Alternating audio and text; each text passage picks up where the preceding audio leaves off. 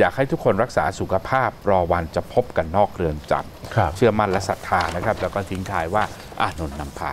ครับครับนะฮะก็เอออย่างอย่างที่เรารายงานไปนะครับว่ากิจกรรมของราชมัมนั้นก็จะพยายามจัดครับกันทุกวันเสาร์จนกว่าเอ่อบรรดาลูกๆของพวกเธอเหล่านั้น จะได้รับสิทธิ์ในการประกันตัวครับแต่นะครับว่าในที่เชียงใหม่ก็ยังจัดทุกวันนะฮะการจัดกิจกรรมของราษฎรนะครับบริเวณหน้า เรือนจำพิเศษกรุงเทพครั้งนี้ครับเป็นการทำกิจกรรม ยืนทวงความยืนทวงความยุติธรรม เป็นเวลา 112 นาทีนะครับเรียกร้องให้หน่วยงานที่เกี่ยวข้องให้สิทธิประกันตัวแกนนำคณะรัษฎรที่ถูกคุมขังครับ มีแม่ของคณะรัษฎรที่ถูกคุมขัง ไปร่วมกิจกรรมไม่ว่าจะเป็นคุณสุริรัตน์ชิวรักษ์แม่ของเพนกวินนะครับ มารดาของไม้พานุพงศ์นะครับ มีมารดาของคุณอานนท์ มีมารดาของคุณแอมมี่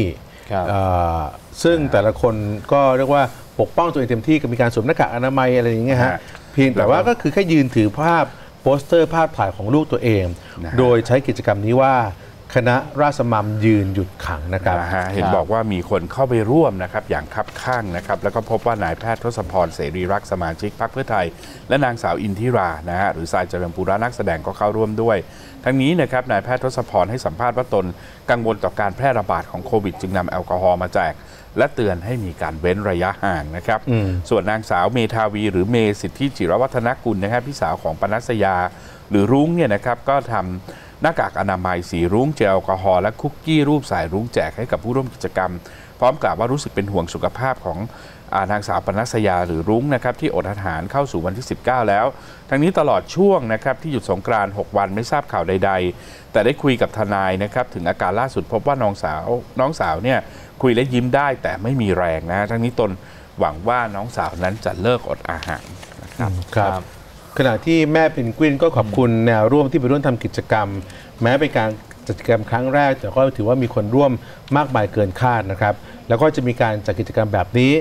ทุกๆ วันเสาร์จนกว่าเพนกวินจะได้รับการปล่อยตัวครับส่วนร่างกายของเพนกวินเป็นยังไงบ้างอาจารย์พิษร่างกายของเพนกวินนะครับทราบจากทนายนะคุณแม่บอกนะครับว่ามีกำลังใจดีนะครับสำหรับการจัดกิจกรรมเช่นส่งจดหมายที่เมื่อวันที่ 16 เมษายนเนี่ยนะครับมีผู้เขียนจดหมายจำนวนหมื่นฉบับ เพนกวินรับทราบและยิ้มแบบคนไม่มีแรงนะครับ คุณแม่บอกว่าขอให้เพนกวินทบทวนการ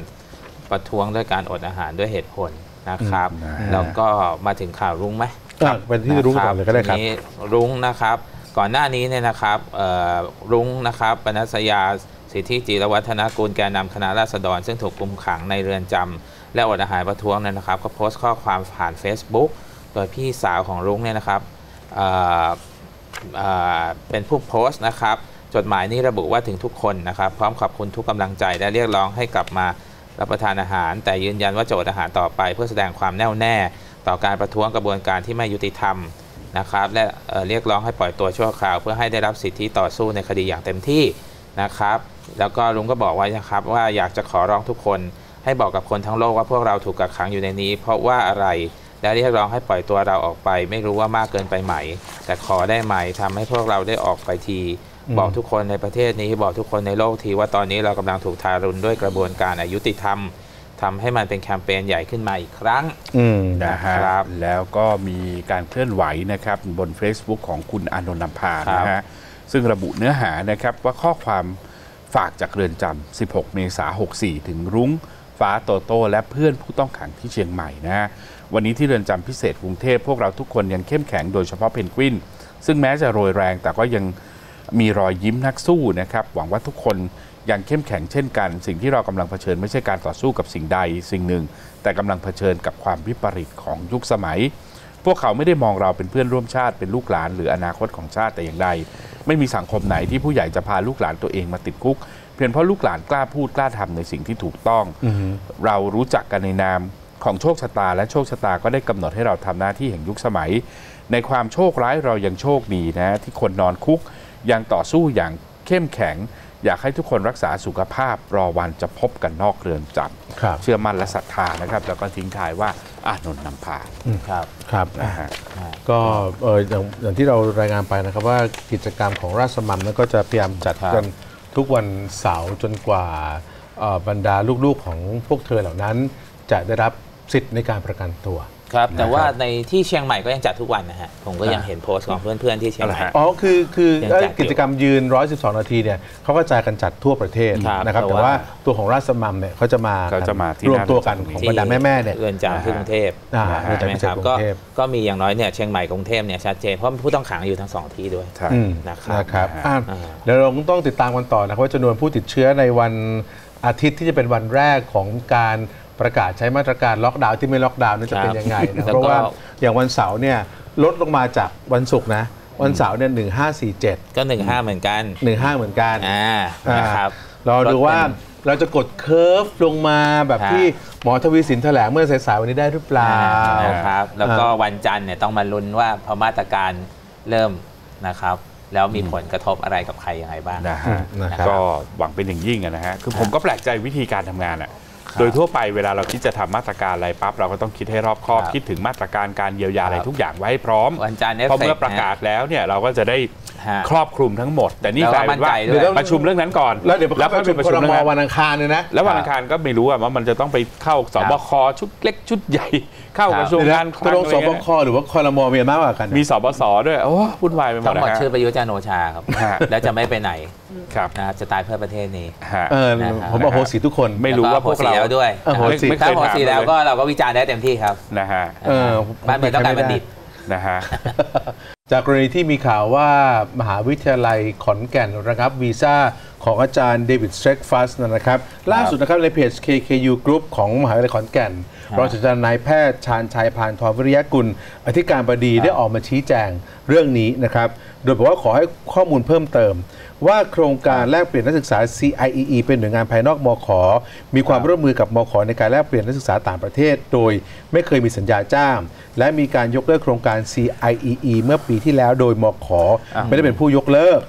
นะฮะนะครับแล้วแล้วคุณจ้างอาจารย์อยู่ในอาจารย์เดวิดสเตรกฟัสอยู่ใน อืม capacity ไหน ซึ่งอยากอธิบายนะฮะ ว่าหลังจากที่โครงการ CIE ถูกยกเลิกนะครับ คณะสาธารณศาสตร์มขมีสัญญาจ้าง 1 ปี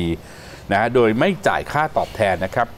อ่าเพื่อให้การดำเนินการสร้างเครือข่ายแลกเปลี่ยนนักศึกษากับต่างประเทศกับหลาย ๆ ประเทศ ตามที่เจ้าตัวเสนอนะครับ ก็ดำเนินต่อไปนะฮะ เริ่มสัญญาจ้างไปเมื่อสสิงหาคมปี 63 ทีนี้เดือนกุมภาพันธ์ปี 64 ทางคณะเห็นว่าไม่มีความก้าวหน้าในงานที่ได้ตกลงกันไว้ จึงแจ้งเจ้าตัวนะครับว่าขอให้ยกเลิกสัญญา และไม่เคยมีตำรวจหรือเจ้าหน้าที่ของรัฐใด ๆ มาพบ หรือมากดดันอธิการบดีและคณะบดี จึงเรียนข้อมูลนะครับให้ทุกท่านทราบด้วยกันนะฮะแต่ผมแปลกใจอย่างนี้ฮะคือพี่ทั่วโลกอย่างคณะผมเนี่ยมีความสัมพันธ์กับมหาวิทยาลัยอีกถึงเกือบ 20 แห่ง เนื่องจากมันเกิดการระบาดของโควิด mobility มันหยุดลง เออ ทีนี้คุณจะมาบอกว่าเขาไม่มีผลงาน มันก็ไม่ได้เพราะมันหอกไม่มี mobility ตรงเนี้ยเออ มันแฟร์หรือเปล่า เอาแค่เรื่องแฟร์ๆง่าย ๆ แบบเนี้ยอืมว่าไม่มีผลงานเนี่ยเออ นะฮะเพราะไม่สามารถที่จะทำเครือข่ายในการแลกเปลี่ยนนักศึกษาได้อันนี้แฟร์กับอาจารย์เดวิดมากน้อยแค่ไหนอืมส่วนเรื่องของตำรวจนี่เดี๋ยวต้องมาคุยกันต่อ เพราะคราวนี้เนี่ยพอทำมาขอยกเลิกใช่ไหมครับเอ่ออาจารย์ก็ต้องไปหานายจ้างใหม่ที่ครับสามารถจะขอวีซ่าได้ ซึ่งอีสานเรคคอร์ด ก็ครับจะเป็นนายจ้างใหม่ของอาจารย์ แต่ปรากฏว่าก็มีการ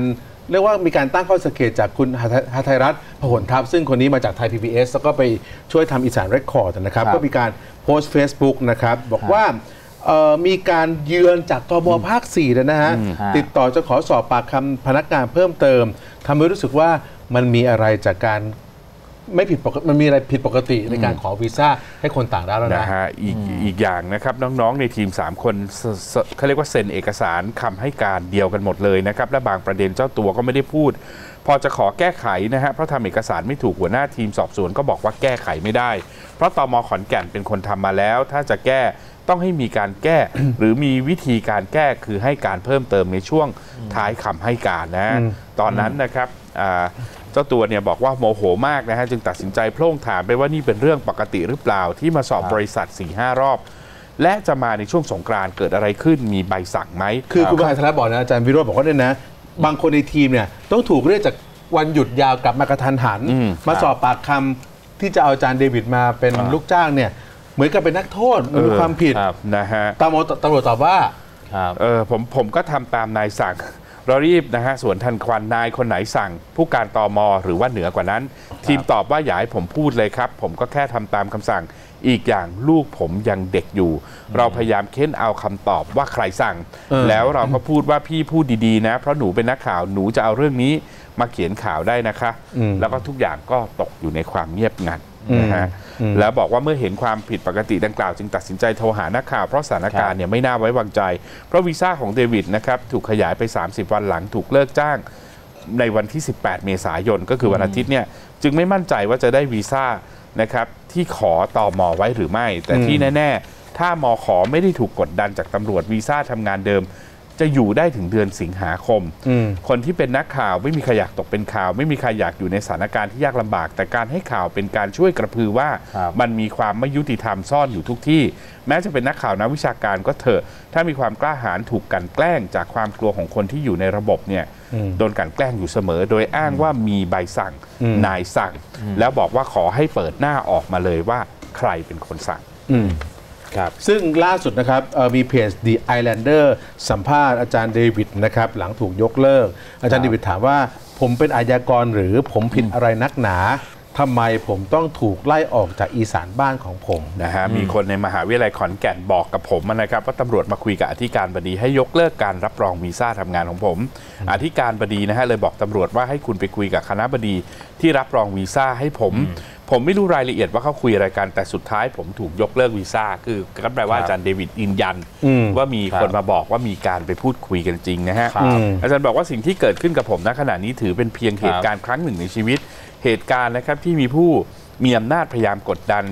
ชีวิตคนคนหนึ่งนะฮะผมแค่เป็นคนคนเดียวเรื่องนี้ไม่ใช่เรื่องใหญ่โตอะไร แต่ก็เป็นส่วนหนึ่งของกระบวนการที่ผู้มีอำนาจพยายาม ปิดพื้นที่สาธารณะของคนไทย รวมไปถึงฝรั่งด้วยนะอืมสิ่งที่ผมถูกกระทำทำให้ผมรู้สึกว่าผมเป็นอาชญากร เพราะถูกปฏิเสธเยี่ยงอาชญากร ผมเป็นอาชญากร หรือผมผิดอะไรนักหนาทำไมต้องถูกทำโทษทำไมต้องถูกไล่ออกไปนอกประเทศด้วย คืออาจารย์บอกว่าผมไม่มีบ้านที่อเมริกานะ เวลาผมลูกก็เกิดที่นี่ เออเวลาไปที่อเมริกาก็ไม่ได้เคยบอกว่าไปจะกลับบ้านบอกไปว่าไปแค่เยี่ยมญาติเท่านั้น แนวทางแก้ปัญหาอาจารย์ตบท้ายบอกว่าขอวีซ่าแต่งงานนะแต่งงานซะเลยฮะถ้าขอไม่ได้ก็ต้องไปอยู่สหรัฐไปฉีดวัคซีนโควิด ลูกผมบอกให้ผมไปสหรัฐไปฉีดวัคซีนก่อนแล้วค่อยหาวิธีใหม่ หรือถ้าจะมีสถาบันอื่นในประเทศไทยอยากจ้างผม ผมก็อยากจะลองดู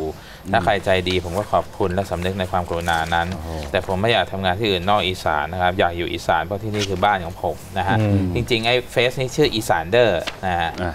ใช่ไหมไม่ใช่ไอแลนเดอร์ไม่ Islander เหรออีสานเดอร์อ๋ออีสานเดอร์เหรอไงอีสานเดอร์อีสานเดโอ้อร์หรือไอแลนเดอร์ขอโทษทีอีครัสาบนเดอร์น่าจะอีสานเดอร์ The อีสานเดอร์เออดีสานเดอร์ขอโทษทีเออแต่ผมอยากได้อีสานอาจารย์เดวิดมาอยู่ที่คณะผมมากเลยอะไปสิอ่าบอกสิ เดี๋ยวอ่าเดี๋ยวไปดำเนินการกับผู้ที่เกี่ยวข้องให้ฟ้องนะแหฮะมเสียดายขอคไม่ณะได้บไปดีรองคณะบดีแล้วไม่งั้นจะดำเนินการให้ทันทีอะไม่เป็นไรบอกคณะบดีไป